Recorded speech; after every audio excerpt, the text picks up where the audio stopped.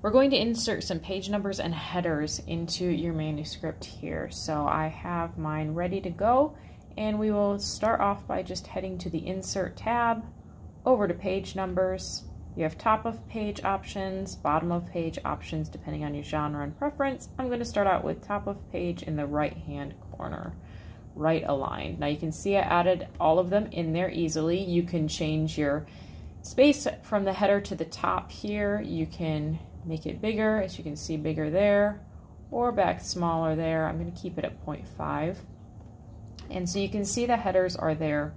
Now we got a problem because your gutter margin is right here and page 2 should not have the page number near the gutter margin. It should be on the outside corner. So how do we fix that? Make sure you double click and are back in your header footer settings and choose different odd and even pages right here. Now we have to go back, make sure that we're still in that even page header, insert, and we'll insert page numbers once again, only this time we're going to do the left aligned page number so that it goes to the outside of your even pages. So you can see now how that added that in right there. We'll close out of the header footer settings again and make sure everything is looking good so far. Next up, when you start a chapter on a new page, you are never going to have your page number or a header at the top of that. It just doesn't look good aesthetically. So we need to remove that. And we also need to add this chapter 2 to a new page. So let's start out with that. Let's go ahead and add in a section break. So we're going to click at the end of chapter 1, go to layout, and to breaks, and we'll go to next page. Next page happens to be page 4, and we need our chapters to always begin on a right page, which will also be an odd numbered page. So we need to add one more section break in here to get this to the right page. Okay, so now we have our chapter 1 on page 1 and our chapter 2 on page 5, so it is an odd number as well. But we still have some issues here. We have a blank page here that we want to keep this blank page, but we don't want that number 4 there.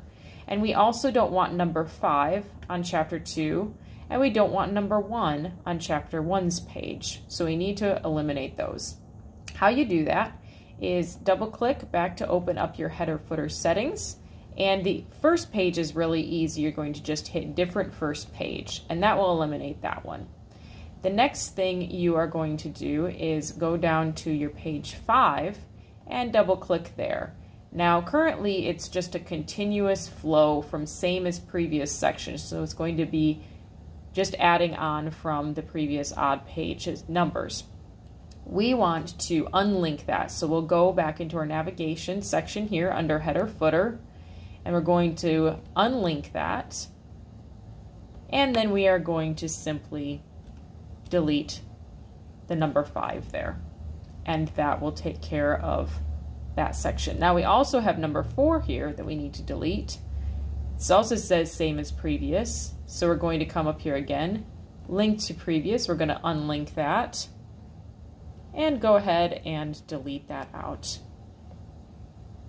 Now we can see that we have a problem here because it did delete the number six here, which we need that to be continuous. So how do we fix that?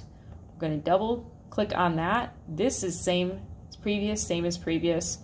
We'll go to number four, unlink that same as previous, but also number six, unlink previous. So now it doesn't repeat what I just did to number four. So we will backspace number four and close the header footer and it keeps that number six in there. So now we have chapter one, page one number is hidden, chapter two is, or page two is there, page three is here, Page 4 is blank, page 5 is blank because it is a new chapter, and page 6.